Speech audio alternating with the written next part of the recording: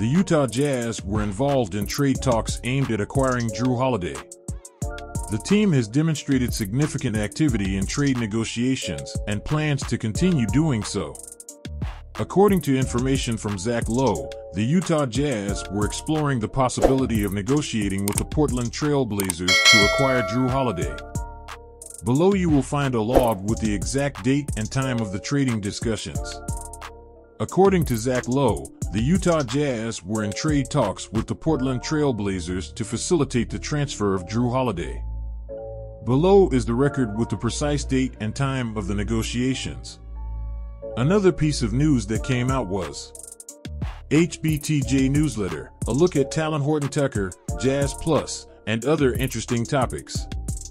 What can we anticipate from Talen Horton Tucker's second season with the Jazz? Will Hardy predicts intense competition for minutes at the point guard position, rivaling the Hunger Games worthy challenges this season. Regarding this scenario, Talen Horton Tucker comments, I wouldn't want it any other way. The 22 year old will undoubtedly be one of the most watched players in camp considering the Jazz's needs at that position. Although Jordan Clarkson, Lauri Markkanen, and John Collins shared some intriguing stories at Monday's Media Day. In his first season with the Jazz, Horton Tucker averaged 10.7 points, 3.2 rebounds, and 3.8 assists in about 20 minutes of playing time per night. Entering his fifth season, the 6'1 guard will face a year in which his role and performance could vary considerably. During last season, Horton Tucker faced challenges, especially due to a lack of accuracy in throwing and some hasty plays.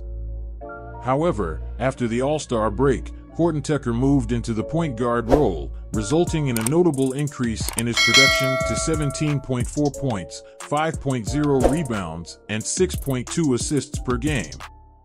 Although challenges regarding shooting and turnovers were still evident, Horton Tucker demonstrated potential as a versatile, athletic, large ball handler. It just gives us a benchmark of where we can go, Horton Tucker commented on this transition period. This gives us a standard. However, with Collin Sexton and Jordan Clarkson now fit and Keyonte George entering competition for playing time, Horton Tucker will have to fight to secure his minutes. You have to be ready and willing to compete every day, Horton Tucker said. Your amount of time on the court will likely correlate to your ability to hit open shots. With a less than 30% success rate on three point shots last season, shooting represents one of the biggest challenges for Horton Tucker to become a positive impact player. Although he has the ability to penetrate defenses, opposing teams tend to give him space on the perimeter. At just 22 years old, Horton Tucker still has plenty of room to grow and improve. However, given the fierce competition on the Utah Jazz roster, this development will need to happen in the near future. Jazz Plus announces pricing and details for direct to consumer streaming service. The Utah Jazz have released details of their new direct to consumer streaming service called Jazz Plus.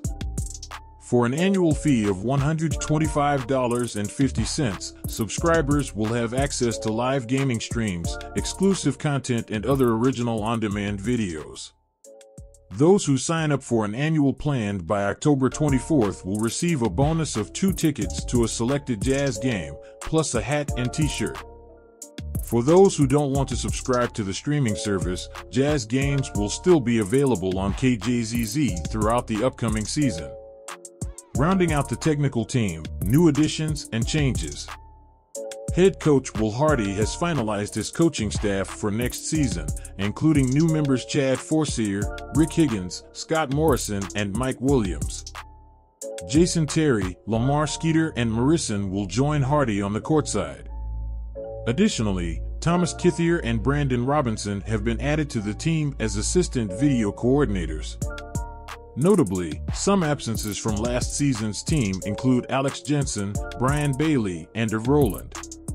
In conclusion, we hope you enjoyed this analysis on Talen Horton Tucker and the exciting updates from the Utah Jazz. If you liked this content, don't hesitate to leave your opinion in the comments, give it a like, and share it with other basketball lovers. Also, to always stay up to date with the latest news and analysis from the world of sport, don't forget to sign up for our newsletter and follow us and thanks for following us and see you next time.